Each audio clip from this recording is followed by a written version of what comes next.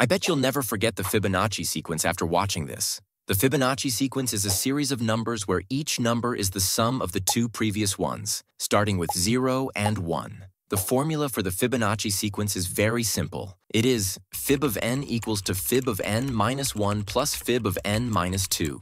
In fib sequence, we have two base conditions, which are fib of 0 equals 0 and fib of 1 equals 1. Okay, that's enough theory. Let's see how to do it in Python. First, we'll take input from the user. We'll write num equals int of input, and inside the brackets, we'll add the text enter the number. Next, we'll set our base conditions by writing a comma b equals 0.1. Then, we'll print the base values using an f string like this.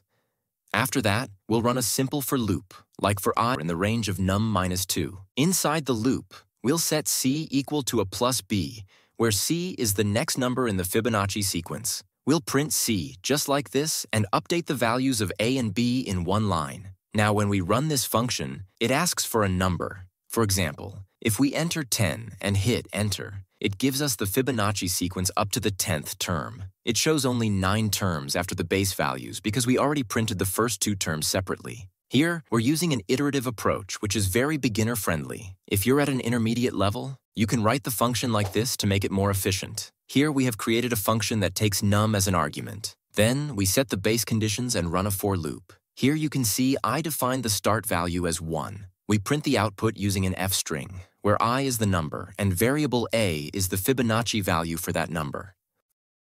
Another way to get the Fibonacci sequence is by using a recursive method. However, it can be very slow with larger numbers.